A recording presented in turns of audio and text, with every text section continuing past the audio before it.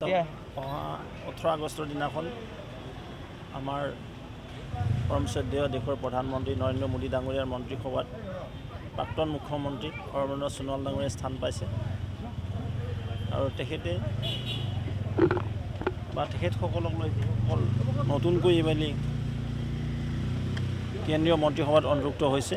তেওঁলোকক লৈ বা তেওঁ তেখেতসকলৰ নিজ নিজ সমষ্টিৰ উপৰিও তিনিটাকৈ লোকসভা সমষ্টিত এক যাত্ৰাৰ ভাৰতীয় জনতা পাৰ্টীয়ে এছাইনমেণ্ট হিচাপে দিছে। আৰু তাৰ আধাৰত অহা ওঠৰ আগষ্টৰ দিনাখন কেন্দ্ৰীয় মন্ত্ৰী শ্ৰদ্ধেয় সৰ্বানন্দ সোণোৱাল ডাঙৰীয়া অসমত অহাৰ কথা আছিলে। কিন্তু যিহেতু অহা ওঠৰ আগষ্টৰ দিনাখন কেন্দ্ৰীয় কেবিনেট বহিব সেইকাৰণে তেখেতে এই ভ্ৰমণসূচীটো বা আশীৰ্বাদ যাত্ৰাটো ঊনৈছ বিছ আৰু একৈছ তাৰিখে হ'ব।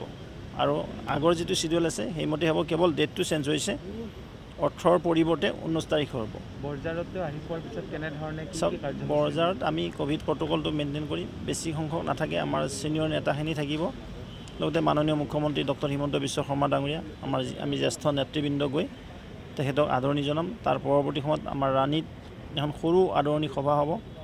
পৰৱৰ্তী সময়ত সন্মানীয় ভূপেন হাজৰিকাৰ যি প্ৰতিমূৰ্তি আছিলে প্ৰয়াত ভূপেন হাজৰিকা দেৱৰ প্ৰতিমূৰ্তিত মাল্যাৰ্পণ কৰিব। তাৰপিছত তেখেতে পাণ্ডু পৰ্টত যাব। পাণ্ডু পৰ্টৰ পৰা কামাখ্যাত আশীৰ্বাদ ল'ব।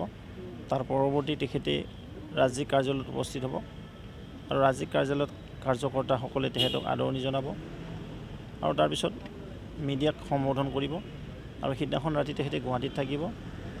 দ্বিতীয় দিনাখন অৰ্থাৎ বিছ তাৰিখে তেখেত নগাঁও মৰিগাঁও মৰিগাঁও হৈ নগাঁও হৈ বটদ্ৰৱা সত্ৰলৈ যাব।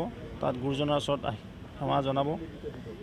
তাৰপিছত তেখেতে ৰাতি কাজিৰঙাত থাকিব আৰু থাৰ্ড ডে অৰ্থাৎ একৈছ তাৰিখে তেখেতে যোৰহাট শিৱসাগৰ মৰিয়নি আদি কেইবাটাও ঠাইত তেখেতক আদৰণি জনাব। তাৰপিছত তেখেতে ডিব্ৰুগড় লোকসভালৈ গুচি যাব।